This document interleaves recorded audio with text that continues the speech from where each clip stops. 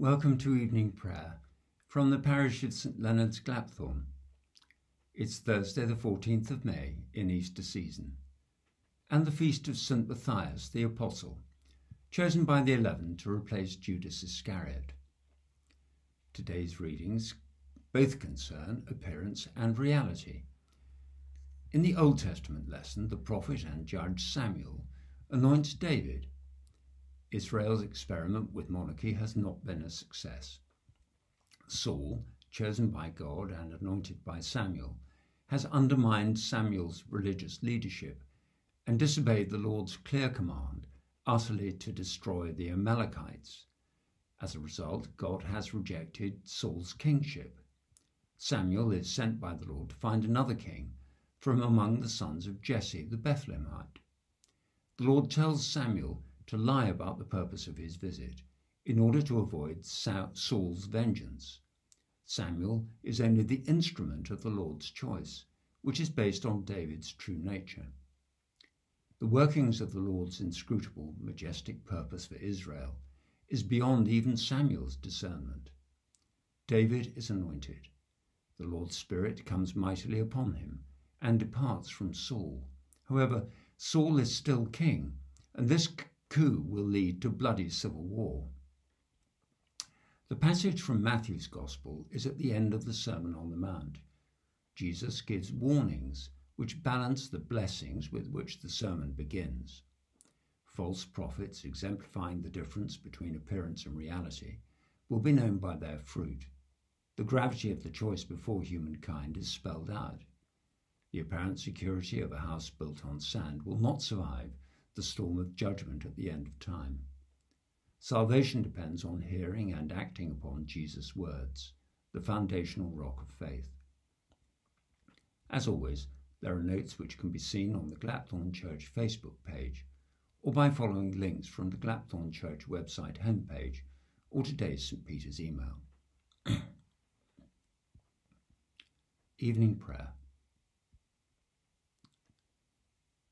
Hide thy face from my sins, and blot out all mine iniquities. Dearly beloved brethren, the Scripture moveth us in sundry places to acknowledge and confess our manifold sins and wickedness. Wherefore I pray and beseech you, as many as are here present, to accompany me with a pure heart and humble voice under the throne of the heavenly grace, saying after me, Almighty and most merciful Father, we have erred and strayed from thy ways like lost sheep. We have followed too much the devices and desires of our own hearts. We have offended against thy holy laws. We have left undone those things which we ought to have done. And we have done those things which we ought not to have done, and there is no health in us. But thou, O Lord, have mercy upon us, miserable offenders. Spare thou them, O God, which confess their faults. Restore thou them that are penitent according to thy promises declared unto mankind in Christ Jesus our Lord. And grant, O most merciful Father, for his sake, that we may hereafter live a godly, righteous, and sober life, to the glory of thy holy name. Amen. Grant, we beseech thee, merciful Lord, to thy faithful people pardon and peace, that they may be cleansed from all their sins, and serve thee with a quiet mind through Jesus Christ our Lord. Amen. The Lord's Prayer. Our Father, which art in heaven, hallowed be thy name. Thy kingdom come, thy will be done in earth as it is in heaven. Give us this day our daily bread, and forgive us our trespasses as we forgive them that trespass against us. And lead us not into temptation, but deliver us from evil. For thine is the kingdom, the power, and the glory, for ever and ever. Amen. The Old Testament lesson is from the first book of Samuel, chapter 16, verses 1 to 14. The Lord said to Samuel, How long will you grieve over Saul? I have rejected him from being king over Israel. Fill your horn with oil and set out. I will send you to Jesse the Bethlehemite, for I have provided for myself a king among his sons. Samuel said, How can I go? If Saul hears of it, he will kill me. And the Lord said, Take a heifer with you and say, I have come to sacrifice to the Lord. Invite Jesse to the sacrifice, and I will show you what you shall do. You shall anoint for me the one whom I name to you. Samuel did what the Lord commanded and came to Bethlehem. The elders of the city came to meet him, trembling, and said, Do you come peaceably? He said, Peaceably. I have come to sacrifice to the Lord. Sanctify yourselves and come with me to the sacrifice. And he sanctified Jesse and his sons and invited them to the sacrifice. When they came, he looked on Eliab and thought, Surely the Lord's anointed is now before the Lord. But the Lord said to Samuel, Do not look on his appearance or on the height of his stature, because I have rejected him. For the Lord does not see as mortals see. They look on the outward appearance, but the Lord looks on the heart. Then Jesse called Abinadab and made him pass before Samuel. He said, Neither has the Lord chosen this one. Then Jesse made Shammah pass by, and he said, Neither has the Lord chosen this one. Jesse made seven of his sons pass before Samuel, and Samuel said to Jesse, The Lord has not chosen any of these. Samuel said to Jesse, Are all your sons here? And he said, There remains yet the youngest, but he's keeping the sheep. And Samuel said to Jesse, Send and bring him, for we will not sit down until he comes here. He sent and brought him in. Now he was ruddy and had beautiful eyes and was handsome. The Lord said, Rise and anoint him, for this is the one. Then Samuel took the horn of oil and anointed him in the presence of his brothers. And the Spirit of the Lord came mightily upon David from that day forward. Samuel then set out and went to Ramah. Now the Spirit of the Lord departed from Saul, and an evil spirit from the Lord tormented him. Here endeth the Old Testament lesson. Magnificat, the Song of Mary. My soul doth magnify the Lord, and my spirit hath rejoiced in God my Saviour. For he hath regarded the lowliness of his handmaiden. For behold, from henceforth all generations shall call me blessed. For he that is mighty hath magnified me, and holy is his name. And his mercy is on them that fear him throughout all generations. He has showed strength with his arm. He hath scattered the proud in the imagination of their hearts. He hath put down the mighty from their seat, and hath exalted the humble and meek. He hath filled the hungry with good things, and the rich he hath sent empty away. He, remembering his mercy, hath holpen his servant Israel, as he promised to our forefathers, Abraham and his seed for ever. Glory be to the Father, and to the Son, and to the Holy Ghost, as it was in the beginning, is now and ever shall be, world without end. Amen. The New Testament lesson is from the Gospel of St. Matthew, chapter 7, verses 15 to 27. Jesus said, Beware of false prophets who come to you in sheep's clothing, but inwardly are ravenous wolves. You will know them by their fruits.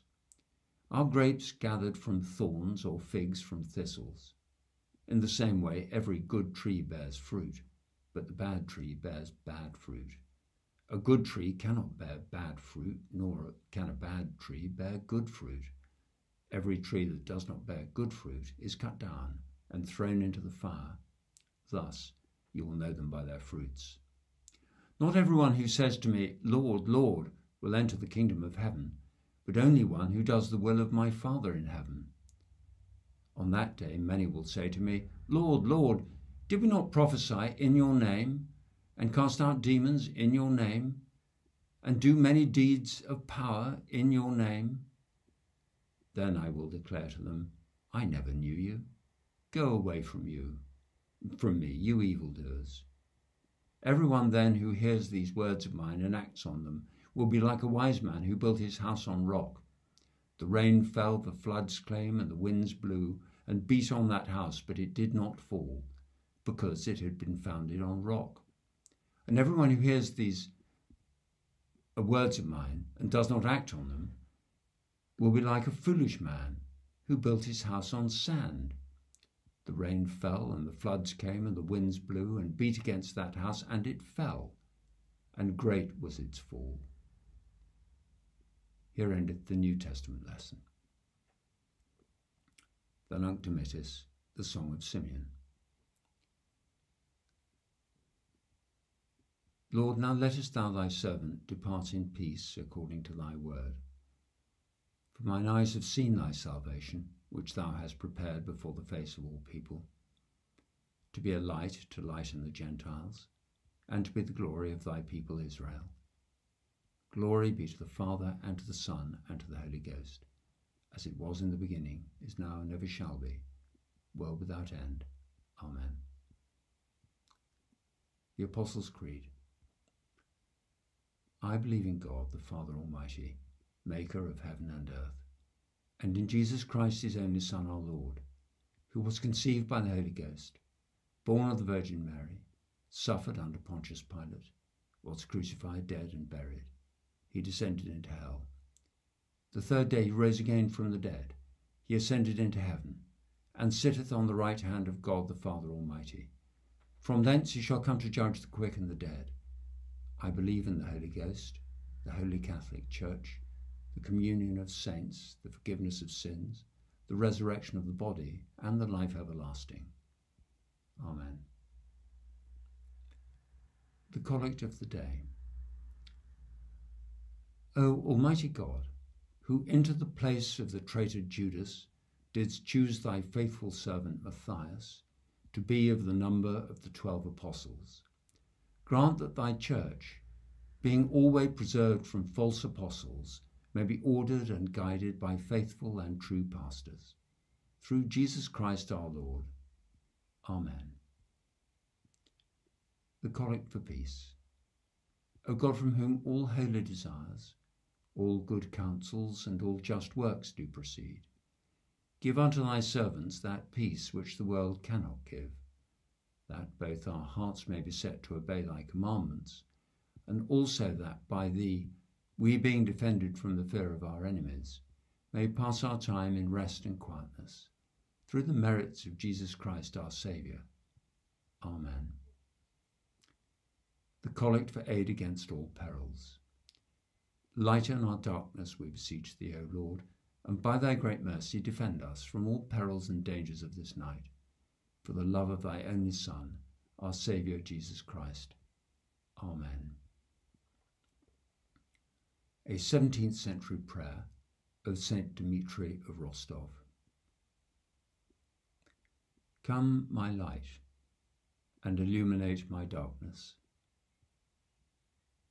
Come, my life, and revive me from death.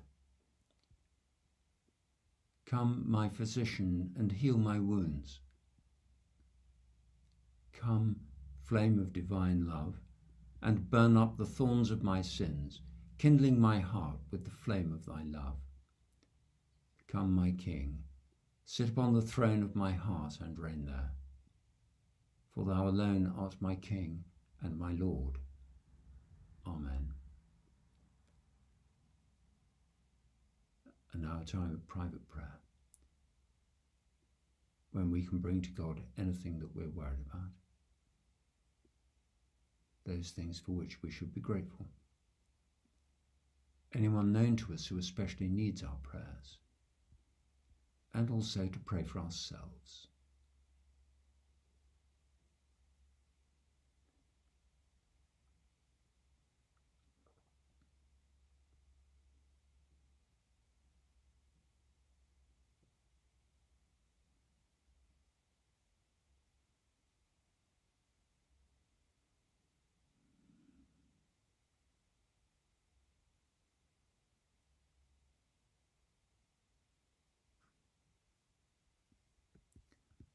Merciful Father, accept these prayers for the sake of thy Son, our Saviour Jesus Christ. Amen. The grace.